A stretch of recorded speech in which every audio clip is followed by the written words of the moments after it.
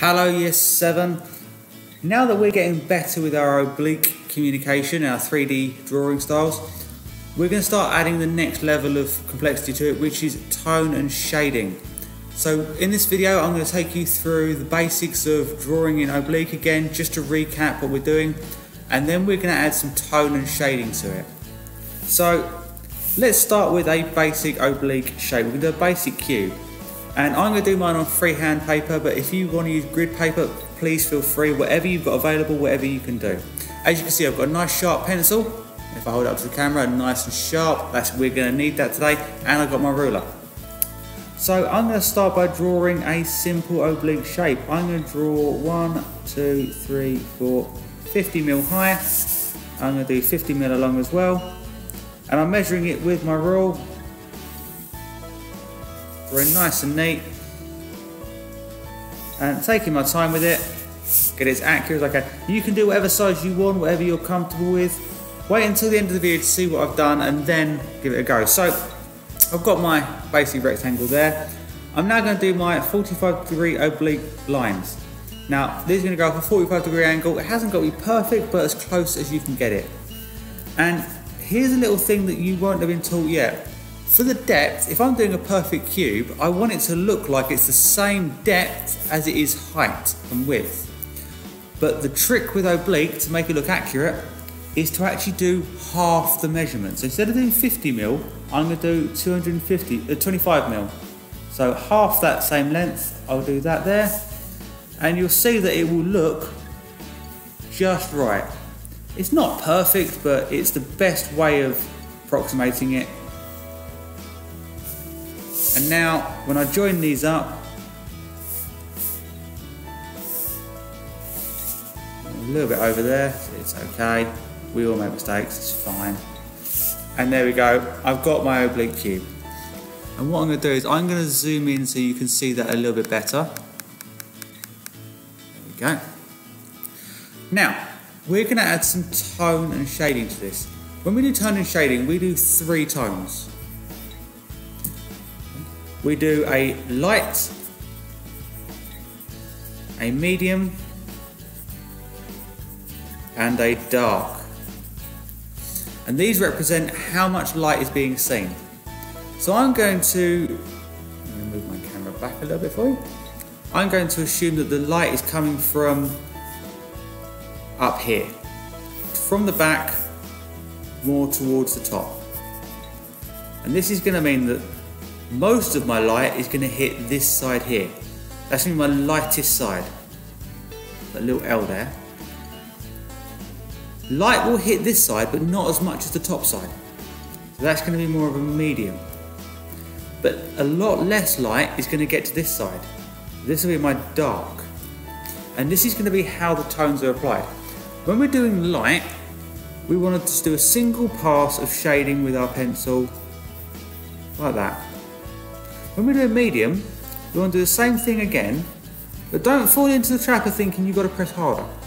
No, we just do a second layer or a third layer, just so it looks distinctly different. You can see there it's a lot darker. And then with the dark one, exactly the same principle again, we just add more layers. What we're looking for here is three clearly distinct tones. So you need to take your time with this. And this is not one of them I'm going to rush it jobs. This is a time taking and it, looks best when you've clearly taken your time. So you can see there I've got my light, my medium, my dark. My light is just one pass. My medium I generally do about three passes. And my dark I generally go between six and eight passes, really to make them distinctly different. And I'm going to show you another little trick that's going to help you. So on my light one, I'm going to go in one direction. I'm going to start off by doing my outsides and I'll just very gently go around the outside. Just to touch up. Because I can't move my paper because of the camera, I'm going to move my arm around here. But what I'd recommend for you is you just turn the paper around so it's this line is going in the same orientation as you'd be comfortable with. So there we go. And now what I'm going to do is I'm going to cheat a little bit. And it's more of a, a life hack, but it's, a, it's an easy method. I don't want to go over that line there. That's really important for me. I don't want to go over that because it's going to ruin the rest of my work. So instead, I'm going to place my rule up against it. And now when I go against it, it's going to stop. So another way of staying within the lines, making life easier for yourself. Before we get going though, I'm going to talk about how we hold the pencil. Remember that the pencil is a useful tool. It's, you know, the pencil has done nothing to offend or hurt you. It's not a stabbing implement. All right, we're not going to try and wave it around. We're going to hold this gently and accurately. I balance mine amongst these three fingers here, right, in between there, and then balance the other end back here. You want as much of this as far away from your hand as possible if you can, so it enables you to be gentle with it. You don't want to press down hard. The paper's not done anything to offend you, the pencil's not done anything to offend you, so don't try and damage them. Let's be gentle with it. Again, a nice sharp pencil will make this a lot easier. So I'm going to hold my rule here, and I'm just going to gently shade, going in one set of directions, backwards and forwards, across here and I'm very, very gently pressing I'm not putting any pressure on this at all. It's only the weight of the pencil that's applying the pressure. Now, I'm just going to go in and I'm going to carefully touch up this piece here. What we're looking for on the light is no white gaps. We want to get rid of those white gaps. You want to consistently apply tone. Now, I've got some white gaps up here. Getting in very, very gently like this is actually really quite difficult. So this is where you can very, very gently just go along in another direction just to tidy it up. Okay? And this is where I could have also put my rule up here and gone that way and that might have made it a bit easier for me. You can see most of the white is gone and it's one consistent tone. I'm now going to do my medium and I'm going to go this direction for my medium so I'll start off by doing my outside boundary again. I'll do a couple of layers on the outside boundary and this, the, when you do this outside boundary, set it the tone you want it to be. So it gives you almost like a guideline for that's what I'm aiming for. Is it distinctly different from the previous one? One thing I would always recommend is work from light to dark because you can always add more layers on. You can't take the layers off. So that's looking a little bit better. So now I'm going to use my rule here and I'm just going to add some more layers. And I'm just going to build up the first layer.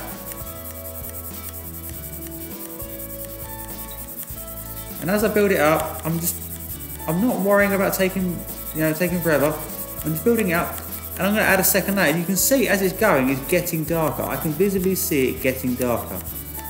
I'm going to add a third layer now. I'm not pushing any harder than I was originally. Same amount of pressure, same amount of force. And you can see that that is clearly darker than that one. I'm just going to fill in those little white gaps there.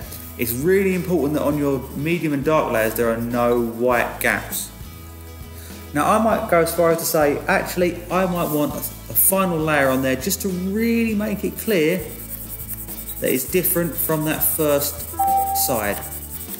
So here we go, that nice little bit of extra depth there, and that is my medium layer done.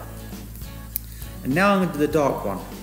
And I've made myself more work, I've made more work for myself by having the largest one, the darkest one, which means I've got the most amount of work to do on this one.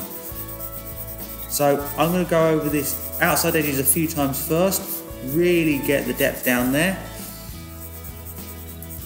Being careful to press gently with my pencil. I'm having to position myself quite awkwardly here.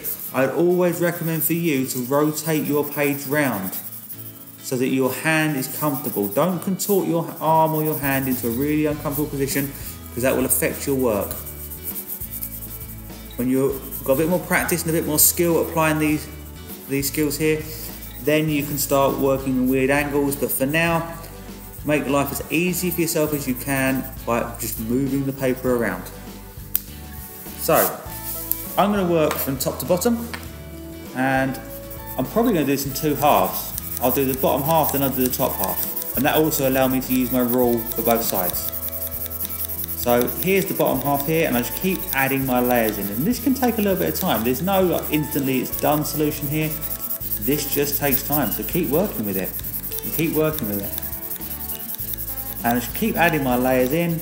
And as I add my layers in, it just gets a little bit darker every time I'm going to keep doing it, not for a certain number of layers, but until I look, look at it and think that looks distinctly different. And I am aware that what I can see in person and what you can see on the camera is different, so I'm looking at what I can see on the camera as well. I'm going to wait until it looks nice and clearly different from me before I even think about moving on. Because it has to look different to my first two sides. It's obviously different to the first one, but it's not different enough yet to the second one. So I'm going to keep adding my layers. Remember, do not fall into the trap of pressing harder. You don't want to press hard on this at all. If you press hard, you're going to get nasty dark patches. You're going to get horrible greasy lines on it. It's not going to look very nice. So it's starting to get dark enough now. I'm going to keep adding a few more layers though. Really build that depth up there. Make sure all the white is gone. A nice dark side on there. And then I can do the other half of the side. And that's looking quite good. I think on the camera you can clearly see the distinct difference there. I'm just going to move my rule up here and I'm going to do the second half. And what you might not be able to see, I'll hold it up to the camera, see if you can see it. Will it focus in time? You can see that the tip of my pencil is almost turned into a chisel, where it's been worn away. That means you're doing it properly. If your pencil's snapping, you're pressing too hard, or you might have a faulty pencil, but make sure your pencil stays sharp. If your pencil starts going blunt halfway through, stop and resharpen it, and then go back and start very, very gently. If that happens, you need to be very gentle so you can match up your tone and your shading. And what I've got to do here now is only do the bits I haven't done and keep going until the tone matches the other bits. So it's going to take a little bit of time, but I'm going to keep going with it.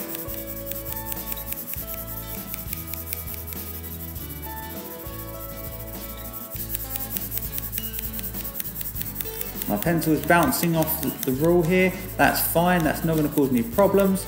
That's going to stop me going over the edges. And it's getting very, very close to being finished, but it's not quite there yet. But this is how you apply three tone rendering or three tone shading.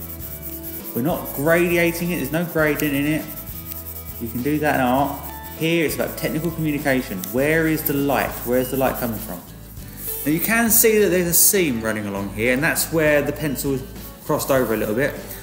That's fine, that happens. If that's on yours, I'm not gonna mark you down for it. But that's what I'm looking for. A light, medium, and a dark. I would like to have a go at this with a range of different shapes. Uh, you might want to use some of the shapes I've set you before. I'll make sure that there's some shapes in the assignment for you to use. Have a good go at this and take your time. A lot of people find this quite relaxing. I can find it quite relaxing and therapeutic, although I do understand why people will find this frustrating. This is a technical communication skill, and it's a valuable skill to have when you're communicating detail in a design. Take your time, work slowly, sharp pencil, and a ruler. Good luck, guys.